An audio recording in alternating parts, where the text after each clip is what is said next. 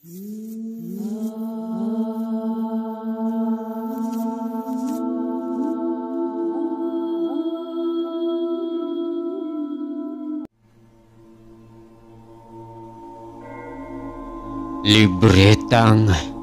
itim. Ang ganda naman dito sa inyo, Mikay. Bulalas ko na nakadungaw sa bintana at lumanghap ng hangin. Ako si Abril, 19 anyos at taga Kalbayog. Sumama kami ni Jennifer sa kaibigan naming si Mikay dito sa San Isidro isang maliit na sityo sa isla ng Almagro upang guguli ng aming bakasyon.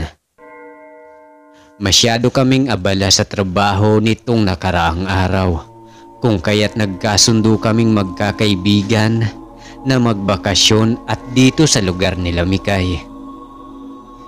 Pagpasensyahan nyo na itong bahay namin at maliit lang. Hinging paumanhin ni Mikay. Okay lang.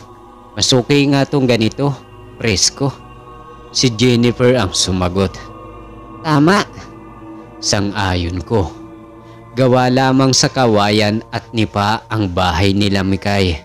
Hindi kalakihan, pero maayos at maganda. Eh, teka. Ano ba yun? Kanina ko pa pinagmamasdan iyan pagkababa natin sa lansya. Dagdag ko na muling ibinaling ang atensyon sa labas ng bintana. Ah, yan. Pag-aari yan ng isang Amerikano na nakapag-asawa ng taga rito. Ang kaso, matagal na silang bumalik sa estate. Kaya ayan, hindi na natapos. Napabayaan na lang. Sagot ni Mikay na sinundan ng tingin ang tinitingnan ko. Isang lumang gusali na nakapatong sa may hindi kataasang burol. Parang ang bigat naman ang aurang nakapalibot dyan. Singit ni Jennifer na nakatingin na rin sa tinutukoy ni Mikay. Sa aming tatlo, si Jennifer ang medyo werdo.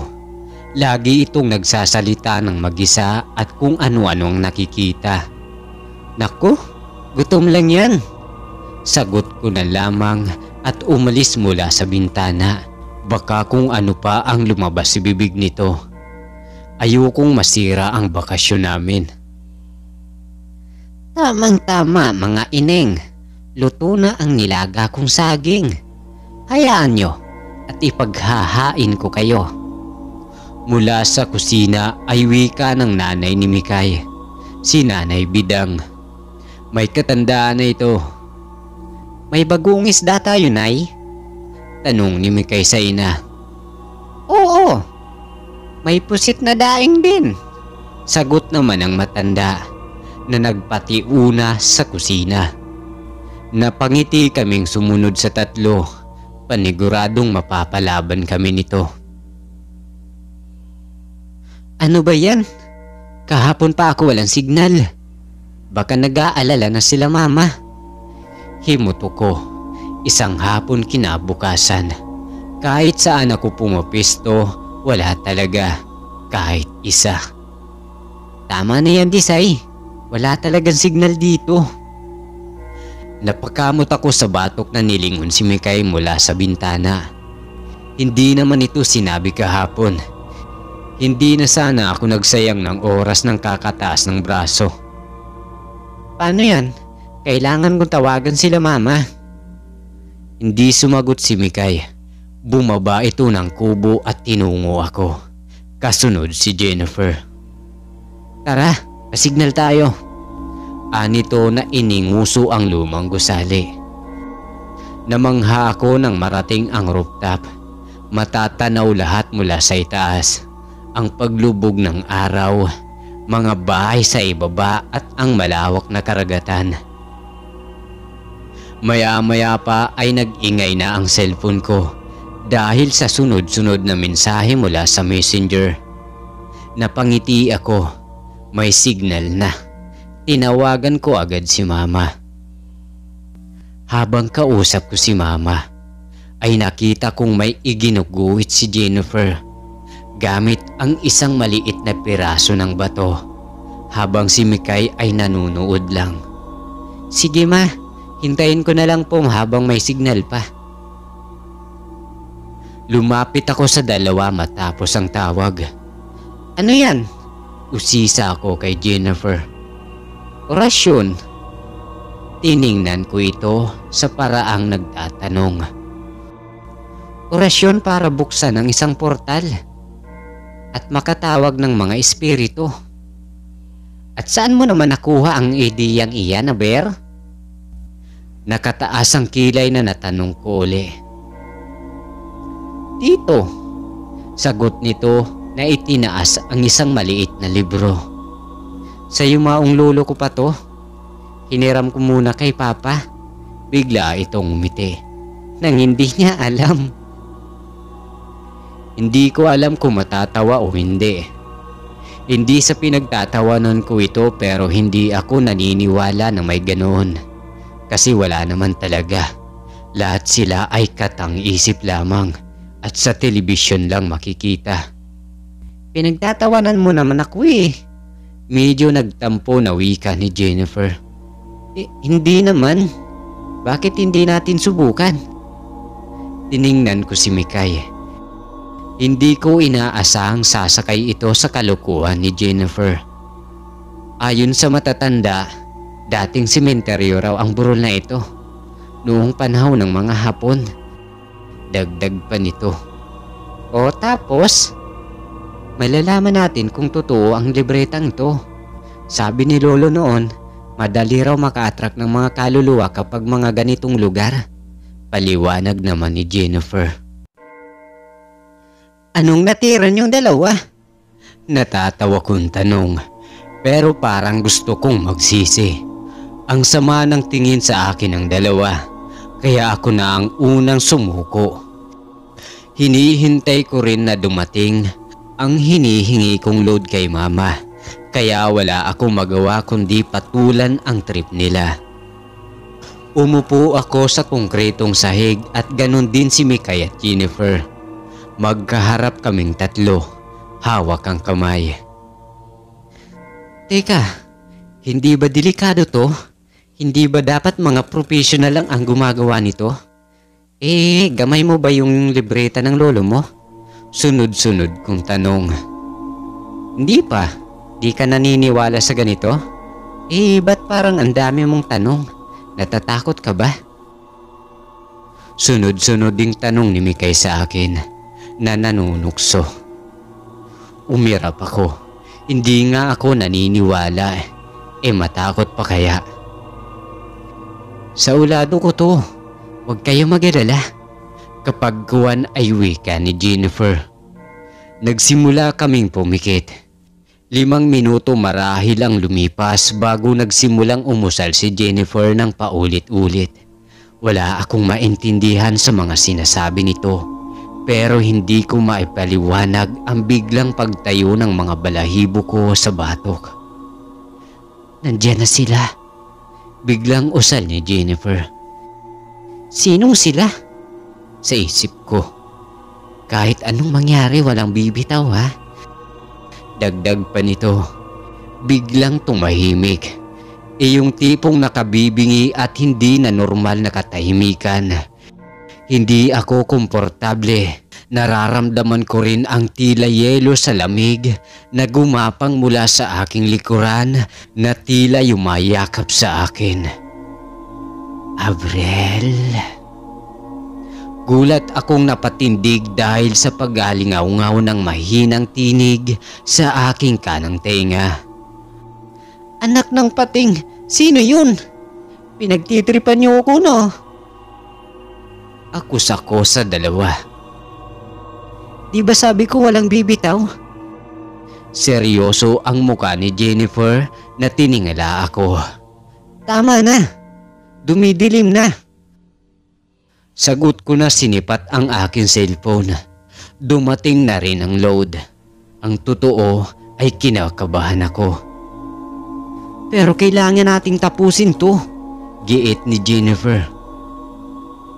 Uwi na tayo. Final kong wika.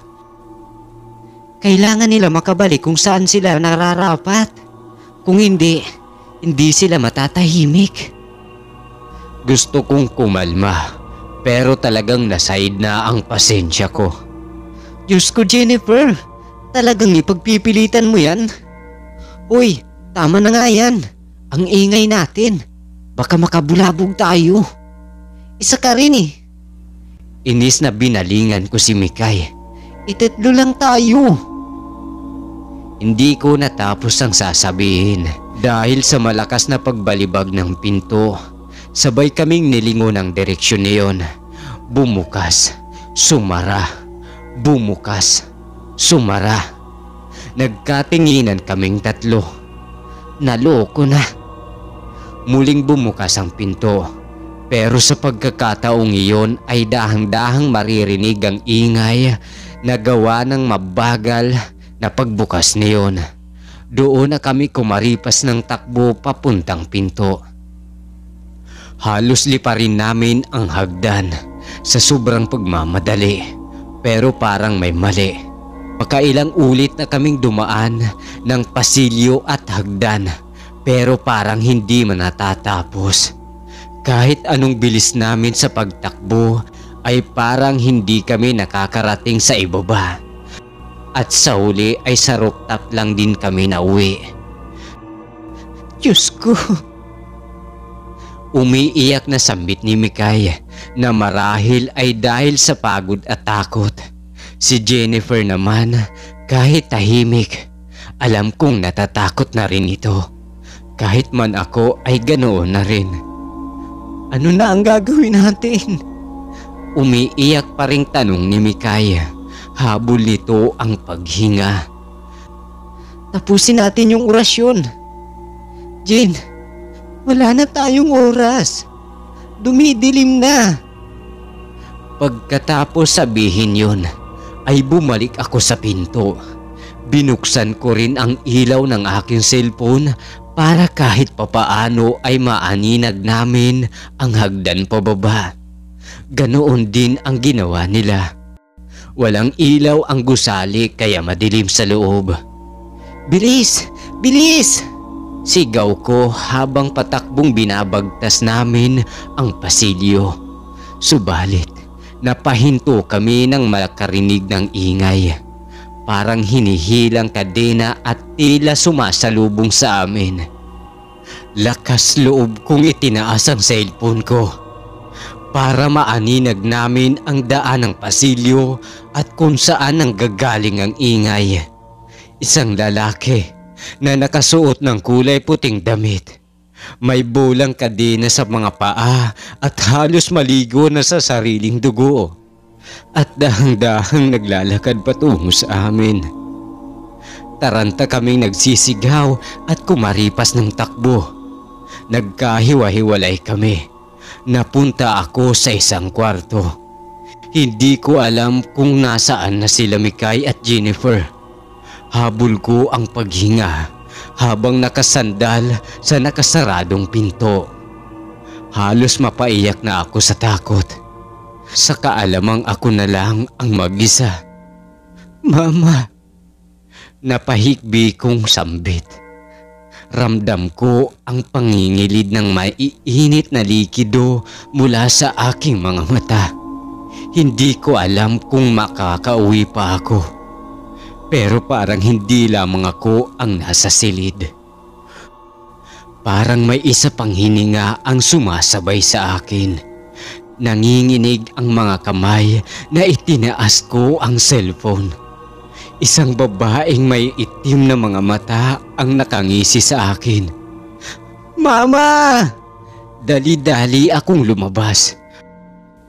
Parang hihiwalay na ang kaluluwa ko sa aking katawan dahil sa takot.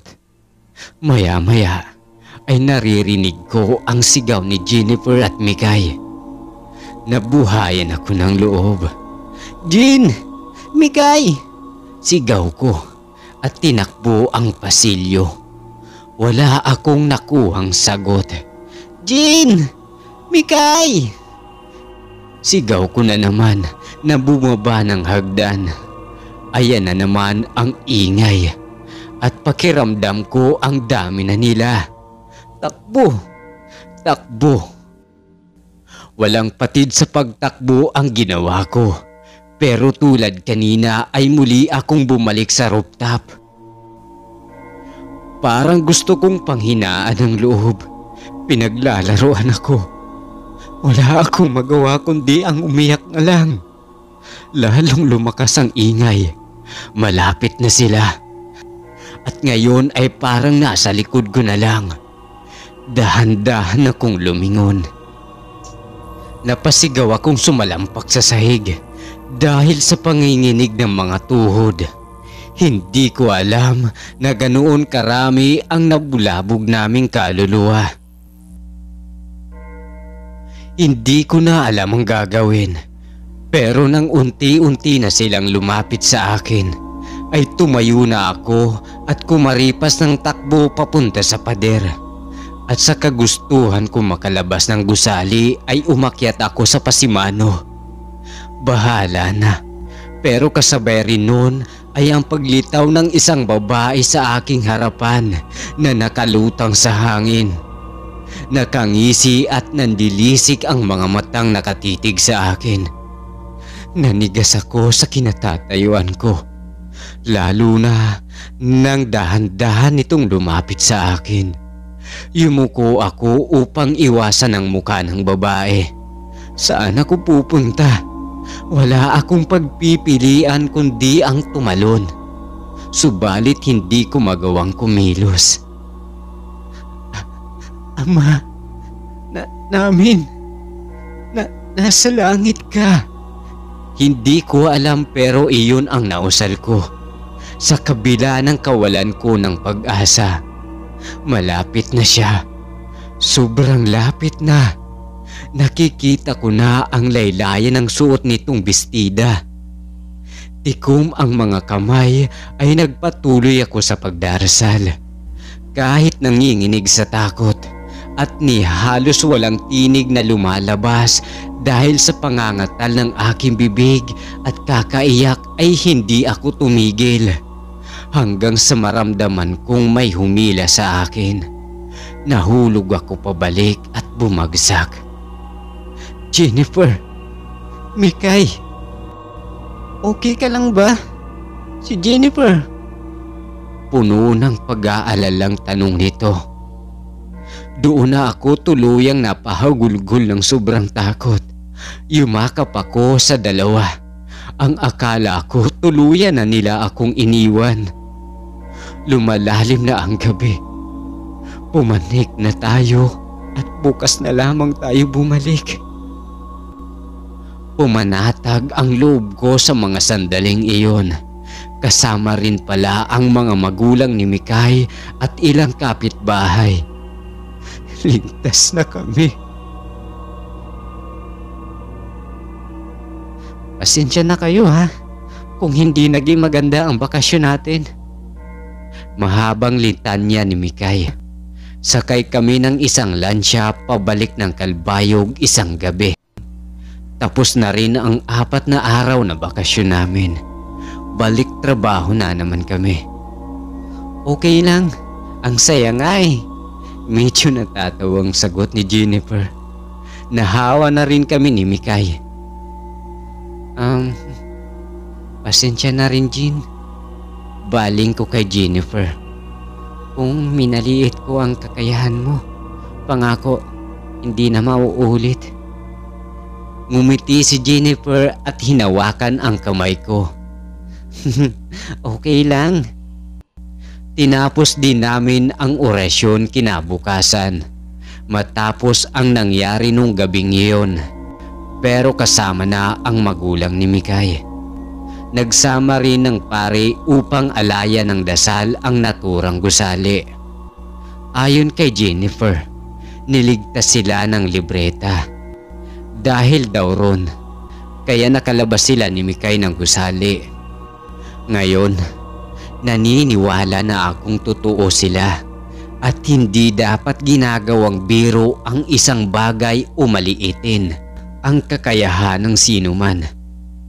Lahat ng nilalang ay may karapatang mamuhay ng tahimik. nakikita man o hindi. Wakas.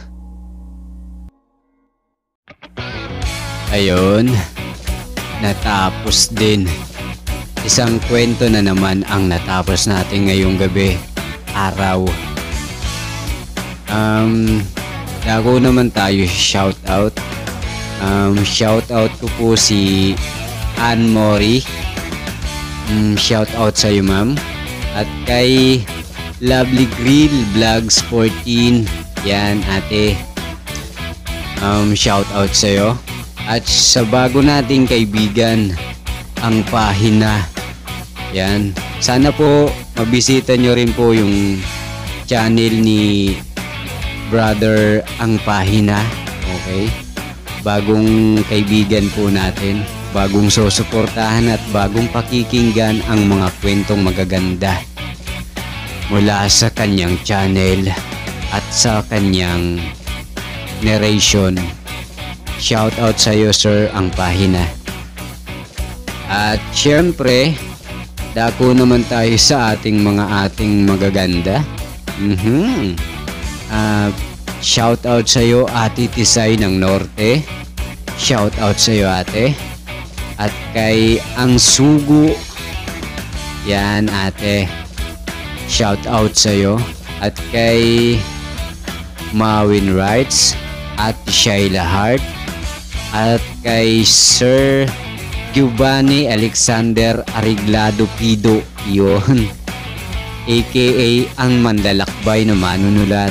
Yon suportahan nyo rin po ang ang, manlala, ang manlalakbay na manunulat. Yan. Shout out sa inyong lahat.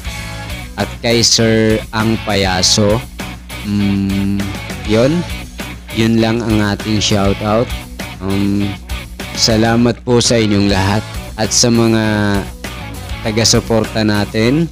Salamat sa inyong lahat. Shout out sa inyo kung sino man kayo. Um, di ko man kayo kilala pero shout out sa inyong lahat. Salamat. Maraming maraming salamat. Yun lamang ang lagusan